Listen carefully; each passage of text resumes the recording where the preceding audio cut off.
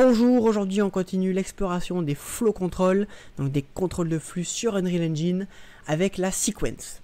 Donc la sequence est un node qui visuellement euh, paraît simple, mais qui a un fonctionnement relativement complexe, enfin complexe. Quand, quand on ne connaît pas la sequence, il faut bien faire attention à son fonctionnement, qui est relativement spécial. Je m'explique. On a un input, bien évidemment, c'est l'execution pin, c'est là que le code rentre. Et donc on a plusieurs outputs. On peut en rajouter d'ailleurs à l'infini avec le bouton add pin. Et on peut donc les remove à condition d'en avoir minimum 2. Voilà. Donc les outputs vont s'exécuter. Mais là où il faut bien faire attention, et c'est la petite subtilité de la sequence, c'est que la ligne 2, donc qui là s'appelle den1, ne va pas attendre que la ligne 1, donc den0, soit terminée avant de s'exécuter. C'est-à-dire que ce n'est pas d'abord j'exécute la première ligne, et une fois que cette ligne est terminée, ensuite j'exécute la ligne 2. Non, là c'est j'exécute la ligne 1, et même si la ligne 1 n'est pas terminée d'exécuter, j'exécute quand même la ligne 2, etc., etc. Même si la ligne 2 n'est pas terminée d'exécuter, s'il a une troisième ligne, je l'exécute quand même, etc., etc. Vous allez voir que je vais faire un exemple concret, et ça va être plus parlant. Donc je vais mettre un event begin play avec P clic gauche.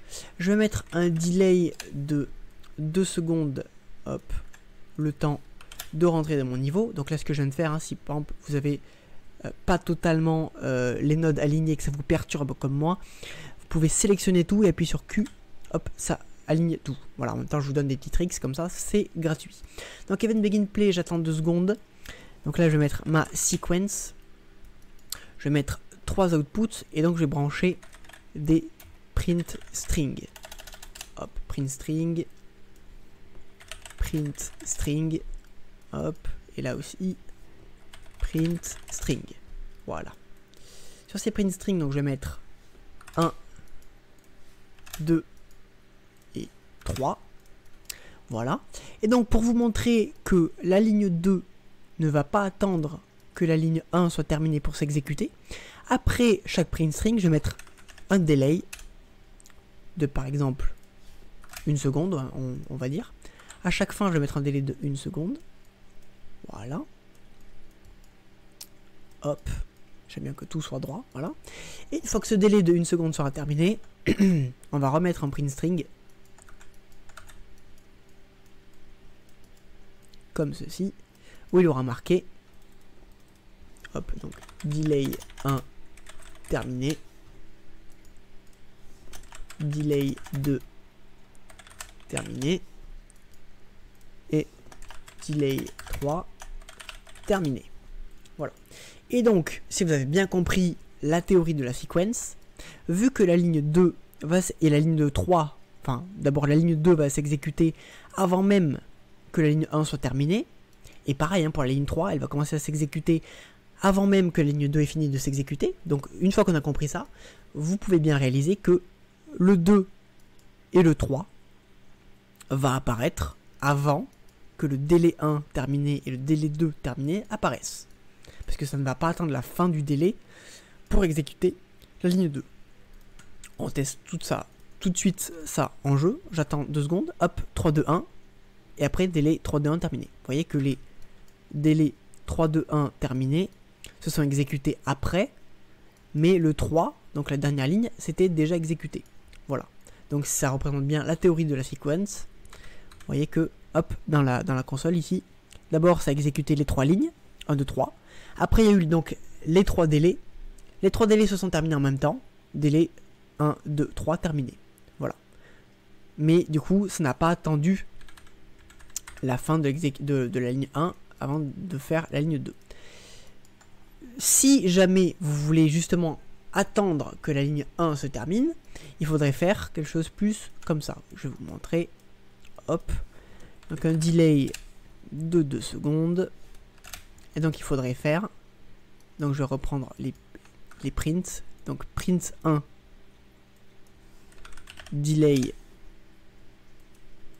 Donc d'abord on exécute notre print 1. On attend une seconde on dit que le délai 1 est terminé. On attend une seconde. Ensuite, on exécute notre chiffre 2. On attend là aussi une seconde. On dit que le chiffre 2 a été exécuté. On réattend une seconde. On exécute à ce moment-là le chiffre 3. On attend une seconde. Et le chiffre 3 est terminé. Voilà. Si on fait un, script très long comme ceci, là, vu qu'il n'y a qu'une seule ligne, en fait, ça va faire le délai, afficher 1, attendez une seconde, délai 1 terminé. On attend une seconde, 2, une seconde, 2 terminé, une seconde, 3, une seconde, délai 3 terminé. Voilà, vous allez voir que, hop, on attend 2 secondes, 1, 1 terminé, 2, 2 terminé, 3, 3 terminé. Voilà, ça l'a fait dans l'ordre parce que ça a attendu une seconde à chaque fois. Voilà. Mais la séquence, elle, donc je le répète une dernière fois pour être sûr que c'est bon, n'attend pas que la première ligne soit terminée avant d'exécuter la deuxième. Donc les trois chiffres vont s'exécuter d'un coup et les délais vont se mettre en marche. donc les trois délais terminés vont s'exécuter à la fin. Voilà. 1, 2, 3, enfin 3, 2, 1 et les délais terminés. Voilà. C'est la théorie de la séquence, quelque chose de très utile, hein, vraiment qui, qui peut être vraiment très utile pour dédoubler notamment un flux. Si par exemple vous avez euh, un event begin play ou un event tick et que vous voulez brancher plusieurs choses, vu que on peut brancher qu'une seule chose sur un event begin play, par, exemple, ou un event tick, si j'ai deux délais, je peux, je peux en brancher qu'un seul. Voilà, donc là, comment je fais, vu que je peux avoir qu'un seul event begin play dans, mon, dans ma page, hein, si je marque event begin play, hop, ça me dit qu'il y est déjà, ou si j'appuie sur p-click, bah, ça me dit qu'il est déjà, donc je peux avoir qu'un seul begin play par page, ou qu'un seul event tick par page. Donc comment je fais? Et eh ben là, je mets une sequence. Voilà, une sequence. Et là, je peux avoir plusieurs pins. Il faut juste faire attention, voilà, que euh, les deux lignes vont s'exécuter en même temps. Voilà.